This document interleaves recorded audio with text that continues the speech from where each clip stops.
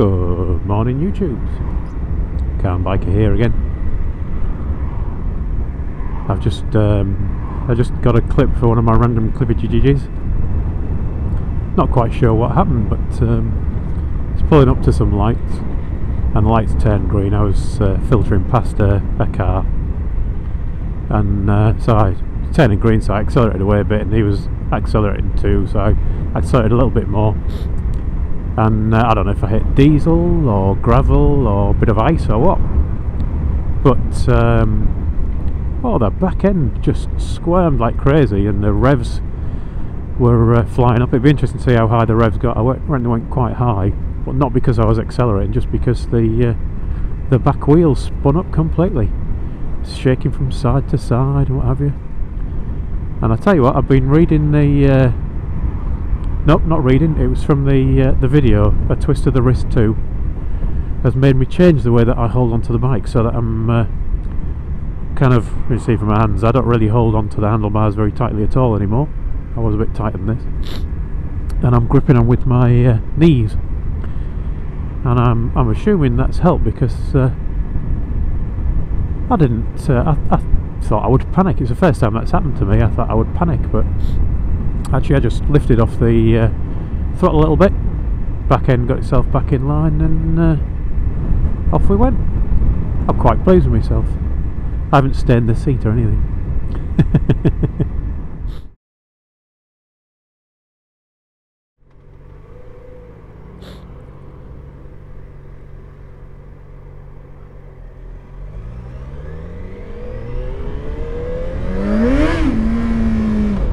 Way back end went completely then.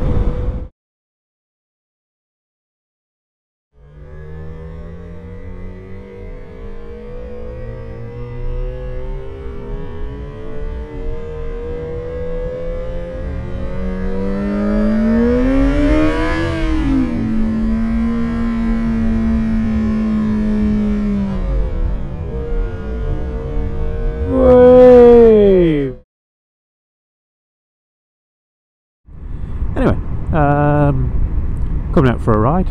Uh, I'm still still uh, freezing my fingers while the wife takes down the Christmas decorations on the uh, the Sunday, first Sunday of the new year. I think I'll be re recording at least three. I want to record one about sugar, the evil that is. Um, I've been getting loads of comments. Um, this morning I was going to come out. I, I, I got up quite late because I had a late night and um, I looked out the window and it was a beautiful, beautiful blue sky. I thought, oh, this is going to be great. Mrs. Calm wants to take the decorations down. It's a lovely blue sky. I can get out there and have a nice ride. I thought I'll just answer all my comments on YouTube first. And I had so many, it took me about half an hour to answer them all. And that's not a complaint. I love all your comments. That's why I do this. So please keep them coming. And by the time I'd uh, answered them all, it looked like this, all grey and miserable. And blooming cold. Anyway, I've been having a, quite a few comments where people have been asking me uh, to, to do certain videos or asking me how to do certain things. Some of them are comments, some of them are private messages. So uh, I have a private message this morning from uh, Mud Striker. I hope I've got that right.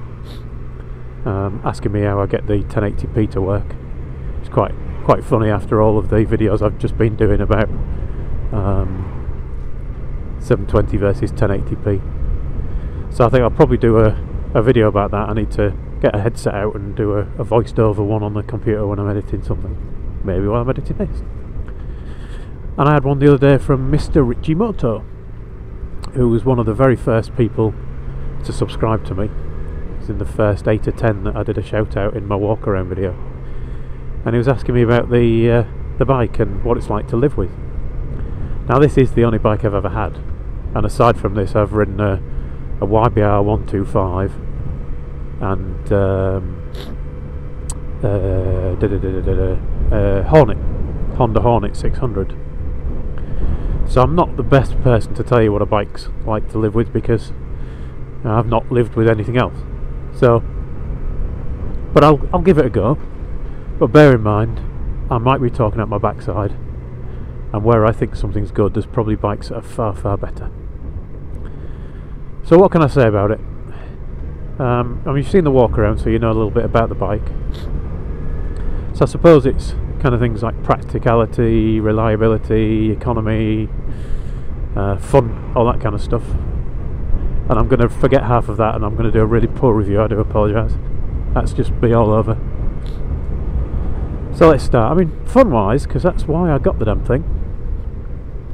I think it's brilliant fun. The Hornet that I learnt on, in theory, has more power to weight than this. This is slightly shy of 80 horsepower and it weighs about 215 kilos. So the weight's quite quite heavy to me. Uh, the Hornet was a lot less than that. Um, and I've, I've found it on occasions when I've been first getting used to it to be quite heavy. But once you once you got the thing moving, you know, it doesn't really matter, does it? I mean, I'm assuming all bikes are the same once they're actually in motion. All the problems of weight go away. Um, the weight just means it, it's not something you can throw about. It's not a flickable bike. Um, at least not by somebody with my limited experience of riding. Um, but it's you know for the, for the power to weight ratio that it's got, it lifts off all right. There's a 0 to 60 test you can see, and I'm sure I could get it quicker than that if I was a better rider. But you see, it, it accelerates well. It can get you out of trouble quickly. You know, if somebody's doing something that it's better to accelerate away from than, than brake and avoid, then uh, this bike's pretty good at it. So yeah, I mean, fun, fun. I like it. It's fun. Uh, practicality, well, I mean, it's the, it's the Diversion F has got the full fairing on, and I think it gives your legs a bit of protection, your body a bit of protection, and the screen does make a little bit of difference.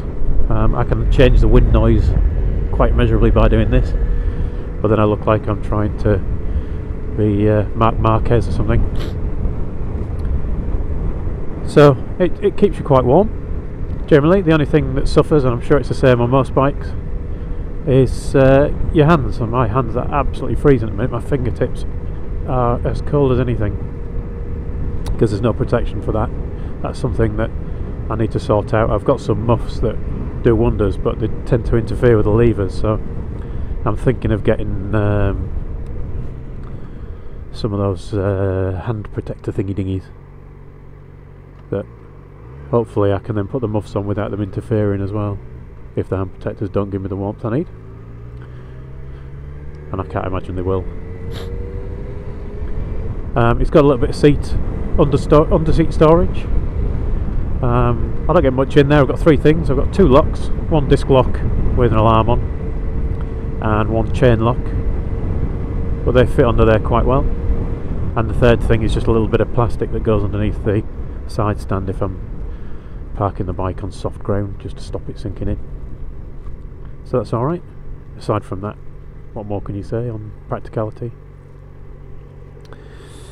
Reliability wise, well, um, colourblind that chap. Uh, reliability, I've not had any problems with it at all. I've got a slightly rattly screen, but that's just because I'm too lazy to actually fix it. At some point I will, but uh, at the minute I'm just taking the opportunity to ride the thing rather than be fiddling about with it. But I've had nothing go wrong with it. Um, service intervals are pretty good, I think the 6,000 miles. First service was 1,000 miles, but that was really just an oil change. Um, and uh, I think, I don't know if they changed the filter or not, I think it might just be oil change. And the good thing about that one was that the uh, you had to pay for the oil, which wasn't much money, but the service itself the was free, probably because it doesn't take very long. But Yamaha pay for the service because it was a, a new bike.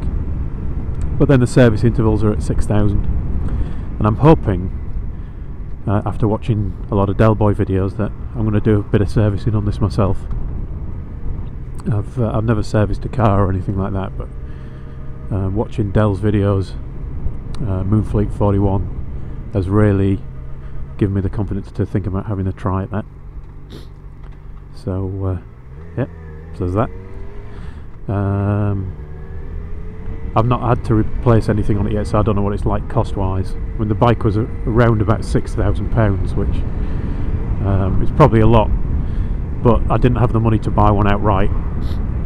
Um, I was absolutely new to to biking, and people were giving me lots of different views about whether I should buy new, whether I should buy second hand. I really liked the look of this bike, and I'd seen a lot of videos that said it was a good starter bike. So. Um, people like Elk Phaser 1 had said it was a, a good bike to start on, although he'd mentioned the weight. So I kind of got my eye on this and I love the colour. I love the... Uh, it's kind of like a matte grey, but it's also got a, a, metal flake in there, so it really yeah, it does sparkle when it's sunny. Not that we get a lot of that at the minute. And yet it's still matte. And then the blue wheels, or I think they look purple, but the blue stroke purple wheels I think set it off nicely. I'm such a girl. Apologies to girls for comparing you to me. so yeah, uh, what else was there? Economy. Um, I use a, a, website called Fuelly.com. Um, if you're into into your economy, uh, it's it's worth a look. It's it's quite good. What what you do basically is every time you go to the petrol station, you keep hold of your receipt. You make a note of your mileage on your clock, and you just go and type in what your mileage was, how many litres of fuel you bought and how much you paid for it. And it gives you all sorts of statistics. Um, the main one being your miles per gallon. And this, uh, the best I've had out of it, I think, was 58. Uh, I'm averaging about 55 miles to the gallon. That's UK gallons, which I think for a 600 is not not bad. From uh, looking around Fuelly, you can actually compare your bike to many others. Or you know, there's I think it's initially for cars, but you can uh, do comparisons and you can look up what the economy is like of all different vehicles. And um, from what I've seen, if you if you're buying a 600, then um, this is is right up there with the best of them at about 55 to the gallon. Uh, comfort. I've not done any hugely long rides yet. We've not done any touring on it. Uh, only got the bike at the end of September, so we haven't really had the weather. But um, he went through a red light, that cyclist. It's only a green light for turning left there, while our ones where I was coming was green. Uh, yeah, so I've not done any touring on it. Uh, I have gone out with Mrs. Calm on the back, and we did a a day's riding where we went to uh, let's see, went to Scarborough, then Filey, then Bridlington, and I collected three new fridge magnets. So I've got my fridges filling up with magnets of places I've been to on this uh, this machine. Um, and that that was all right. I mean, we were comfortable all the way. No no grumbles, no aches. Uh, say cold hands, but that was about it. And they weren't as cold as they are today but that was because it was a, a much nicer day. You don't go to Scarborough uh, very often when it's raining. And Mrs Calm was fine. So all in all we probably were on the bike. We, we didn't take the the direct route. We uh, we did a quite a bit of riding but we were out for probably four hours maybe five probably two and a half three hours of actual riding uh, with no aches so that was good so yeah, pretty comfortable. The seats quite spongy, I suppose. I know you can get things to add to, to seats to make them better. And for me, I'm quite short, so I'm about five foot eight. Uh, Mrs. Calm is. I'm not going to say how tall she is because she won't like me to, but she's she's not a tall girl either. So, uh, but she was quite comfortable on the back. I suppose if you're really tall you might find this one a bit more hard work on the back. You might have your knees under your uh, chin. But actually the, the rear foot pegs are quite low compared to a sports bike. This is they call it a sports tourer. So it's it's kind, kind of got a sports bike look to it. Or it has to me anyway. My untrained eye but um, you, you sat more upright so you sat up like a, like it would be on a naked, right? On a what do you call them, a street fighter or whatever. Um, and there's no these these scooterists. Come on, nod to us. I'm gonna keep doing it. You're gonna have to keep nodding. You have to try. You're gonna learn at some point. So yeah, I mean, it's obviously there is a naked version of this bike. So the uh, the XJ6. So yeah, I I think it's it's a nice riding position. It's you know you're not hunched up. I do occasionally have back problems because I. Uh, hey, a nod. I am a, a computer person, so I spend too much time hunched over a keyboard. But I've not had that at all on the bike, which is great. So what we done? We've done practicality, um, fun, economy, comfort. What else is there? Um, I suppose looks. If you're doing a car review or a bike review, you always talk about looks. Well, I like it. I'm not going to get off to show you it. Have a look at the uh, walk around and you can see it. So it's kind of uh, sporty styling. Quite uh, dark looking with the old matte paint. Done economy. What else is there really? Not not a great deal, is there? I mean, gadget wise, it's pretty basic. There's no ABS on this. Uh, you can get ABS as an option.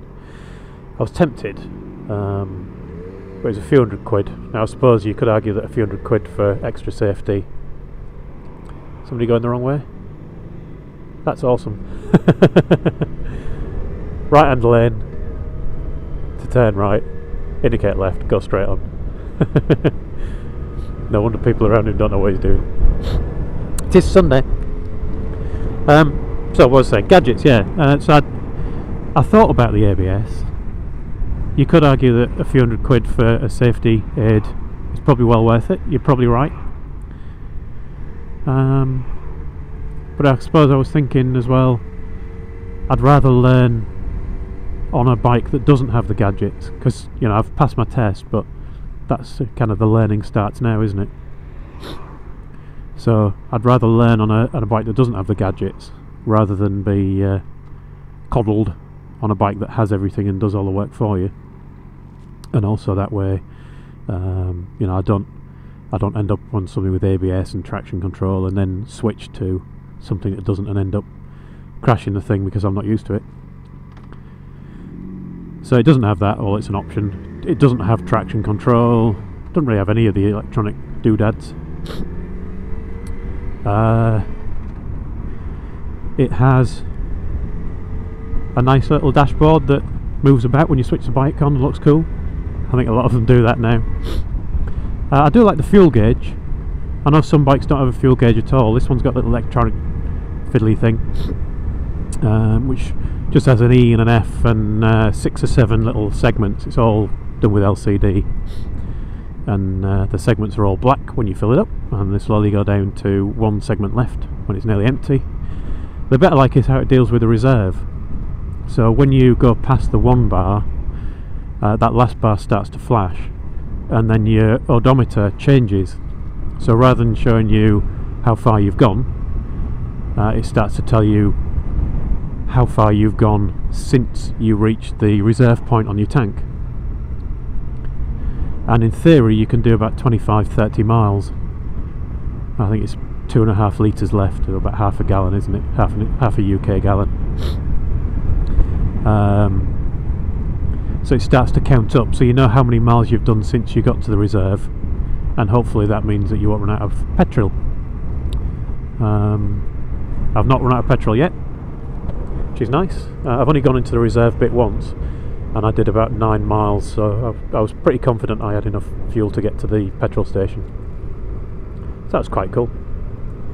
Um, other things on the dash, well, what time it is, which is nice, so you don't have to keep looking at your watch. Gives you the uh, temperature of the engine, which is staying very low today, I'm guessing because it's so damn cold. And uh, obviously the speed, digital speed readout. Um, you've got two trip meters, or the odometer, and then the analog rev counter, which goes all the way up to 11, 11.8 actually. I do like the sound when it gets to 11.8. It makes Mrs. Calm give me a dig in the ribs though when I do it. anyway, what else can I say? Uh, I can't think of anything else to say about it. Um, oh, another, not really a riding aid, it's kind of should be there on every bike, is the mirrors. The mirrors are brilliant. I know that on some bikes the mirrors can be a bit rubbish.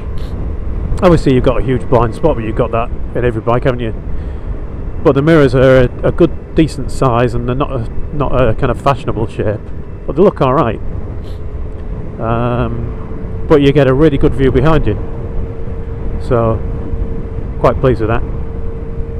They're also bendable; you can twist them round and uh, bring them in line with the bike. So if you want to do some really tight filtering, you can. I'm not quite brave enough to do that level of filtering yet.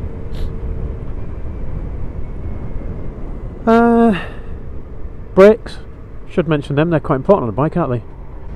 They work really well. Can certainly stop the thing quick.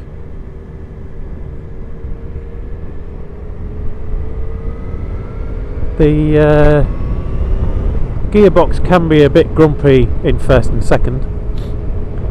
So going down from second to first